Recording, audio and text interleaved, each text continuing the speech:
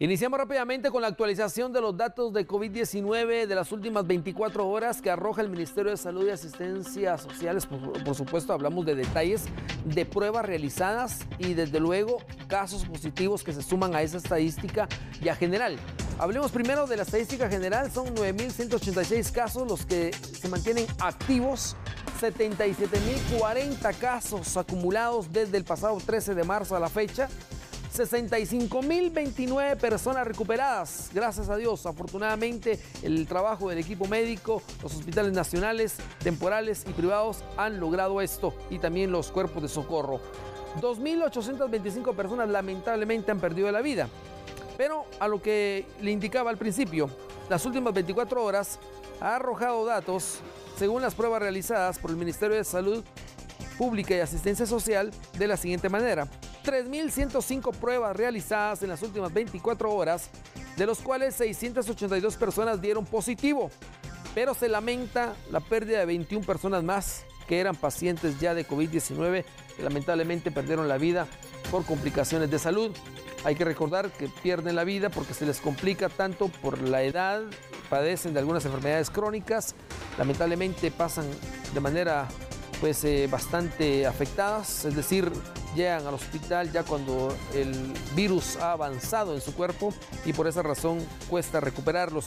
Recuerde, vamos a ver en este momento rápidamente las edades y los géneros para que usted observe realmente en dónde afecta más estos recientes casos y los acumulados. Mire, según las estadísticas, el 58% sigue siendo masculino y el 39% femenino. Son 44.706 hombres los que han pues, enfermado del coronavirus y 30.343 mujeres que se mantienen entre la estadística. Pero algo que nos sigue sorprendiendo y que se sigue manejando es esta estadística. Mire, hombres entre 20 a 29 años son 11.930 personas que encabeza la estadística más alta de casos. Y mujeres están entre 20 y 29 años, 7.755. De 30 a 40 años, igual. Mire, hombres es 11.867 personas y mujeres un total de 7.804. Ambas edades, entre 20 a 29 y 30 a 40, pues esas son las edades que figuran entre las cifras más altas de COVID-19 dentro del país en lo que va de los casos acumulados.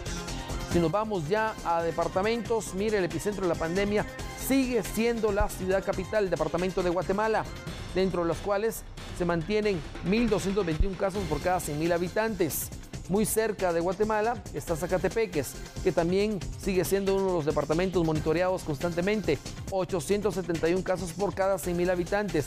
Pero ¿qué me dice el sur? Escuintla, 482 casos por cada 100.000 habitantes. Y Izabal, 672 casos por cada 100.000 habitantes, pero hay algo más que Exaltenango, sigue subiendo, 533 casos por cada 100.000 habitantes. Pero usted me pregunta en redes sociales, ¿qué está pasando con los municipios? Bueno, vamos rápidamente a los municipios y lo vamos a observar de esta manera. Datos que arroja, por ejemplo, si nos vamos a ubicar en Jutiapa, busquemos Agua Blanca, son cuatro casos de una población de 17.322 personas. Si nos vamos a Guatemala, ubiquémonos en Amatitlán, son 1.142 casos de una población de 147.600 personas. Pero, ¿qué pasa con Santa Rosa? Bueno, Barberena tiene 223 casos por la población de 60.376 personas. Ojo con esto, porque los casos van variando en diferentes regiones.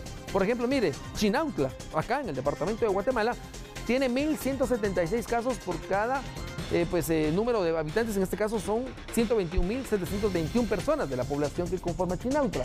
Pero si visualizamos Chiquimula, cabecera departamental de una población de 117.014 personas, 694 han dado positivo. Estas cifras obviamente van variando. ¿Por qué le digo? Bueno, mire, visualicemos Santa Rosa en Cuilapa. Ahora, habíamos visto Barberena, que eran cuatro casos. Mire Santa Rosa en Cuilapa, 173 casos para una población de 46.489 personas. Ojo, mira Alta Verapaz en Cobán, 577 casos por una población de 224.109 habitantes, pero que Exaltenango también le sigue, suma 707 casos en Coatepeque para una población de 117.579 personas.